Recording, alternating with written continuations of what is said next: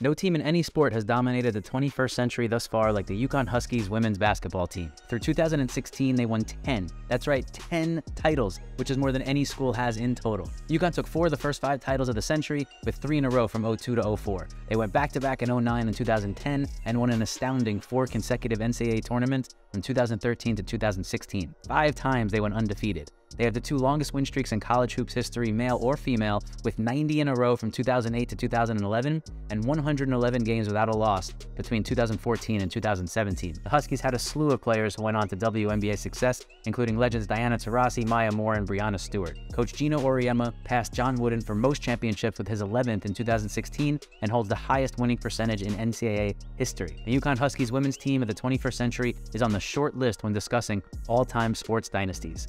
Follow for more stories like this.